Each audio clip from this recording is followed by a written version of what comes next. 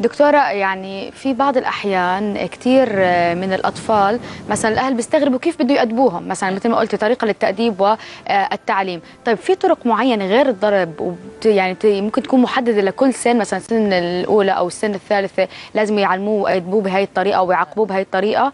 خبرينا. هلا أهم شيء هو وجود محبة ودعم من قبل الأهل وحنان للطفل. م. مهم زي ما حكينا مهم كمان ماذا نتوقع من الطفل في عمر السنتين أن يفعل. طفل في عمر السنتين عادي يقع منه شيء وينكسر. آه كمان مهم كثير في التربية اللي بنقولها تعزيز السلوك الجيد. هي أهم من العقاب وأثبتت نجاعتها. مهم نوضح للطفل كمان شو هي القيم. مرات الطفل بيكون مش عارف شو اللي الاهل بدهم إياه شو الغلط اللي عمله. فمهم الأهل إنهم يوضحوا للطفل شو السلوك الصح. لما يعمل السلوك الصح يعززوه عنده. القيم آه كمان هذه أشياء الإنسان ما بتعلمها لوحده. إحنا لازم نعلمه إياها. وهذه شغلة بتيجي تدريجي في كل مرحلة في عمر الطفل في قيم جديدة التعاون المشاركه الالتزام الاحترام العطف المحبة. هذه قيم كله بالنقاشات يمكن دكتورة والحديث ومهم كثير الأهل يستمعوا للطفل.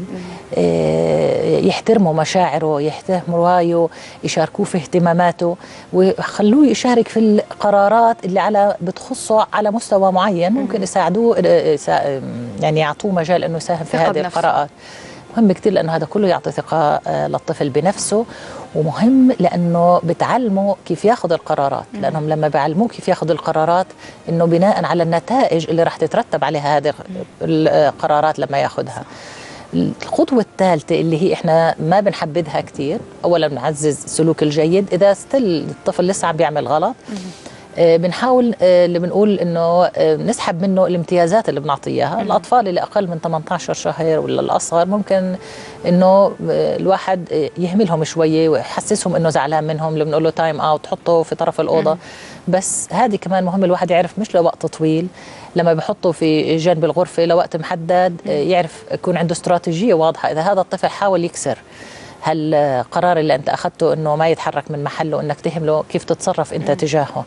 العقاب الجسدي أثبت إنه يمكن لحظتها أول مرة بيتوقف عن عمله لكن إذا تكرر ما بيصير له مفعول الطفل بصير عدواني أكثر. محبط. ثقته بنفسه بتترتب عليها مشاكل نفسية كثيرة وحقيقة ما بغير وبخلق عنده تربية جيدة. يمكن دكتورة كنا أنا وياك عم نحكي وقلت لي معلومة إنه الطفل من سن الخمس ست أشهر بيصير يفهم ويستوعب شو الحديث اللي عم بيصير قدامه، هل هو حديث فيه غضب، حديث فيه أحاسيس، يعني قد إيه لازم الأهل ينتبهوا على تصرفاتهم حتى. لو كانت بحركات إيدين مثلا أمام بالزبط. الطفل هو عملوا دراسة من خلال أجهزة بتقيس الموجات والذبذبات اللي في الدماغ فلاحظوا إنه الطفل ممكن يعرف اللي بسموها العواطف أو المشاعر مم. اللي بتحملها لهجة الكلام ولقيوا إنه هذا الحكي مش موجود عند الأطفال اللي عندهم توحد مم. فالطفل مش زي ما بنفكر إحنا إنه الطفل ما بيفهم لا هو بحس بالمشاعر اللهجة الحنان أو الحب اللي بتحكي فيها التوبيخ بيقدر الطفل توصله المسج منها وبتأثر أيضا فيها. وبتاثر فيها وهو الطفل في النهاية هو حريص على إرضاء أهله. فأنا بعتقد إنه إذا إحنا وضحنا للطفل التصرفات الصح وعززنا عنده السلوك الكويس آه ما راح يكون في مشكلة كبيرة.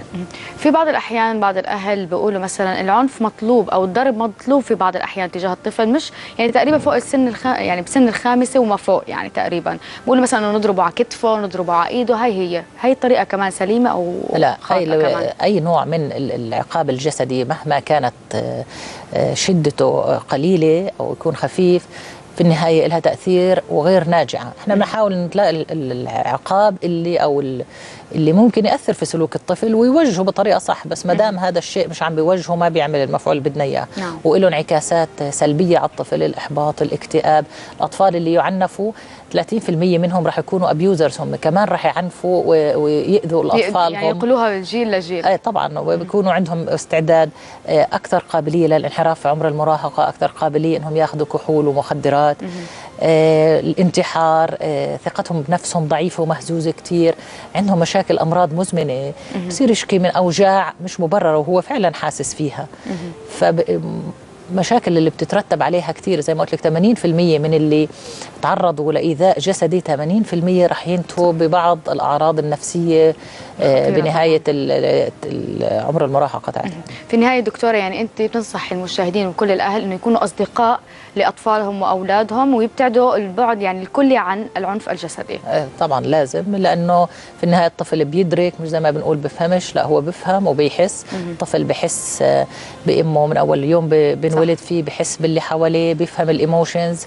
مهم كتير خلق نظام بحياة الطفل. هذا كمان كتير مهم نظام في الدراسة نظام في الأكل نظام في النوم. هذا كتير بيساعد. إذا في نظام إذا الأهل كانوا آه، نموذج وقدوة لأهلهم إنهم يكونوا عندهم نظام و system. هو الاب والأم بحافظوا على القيم.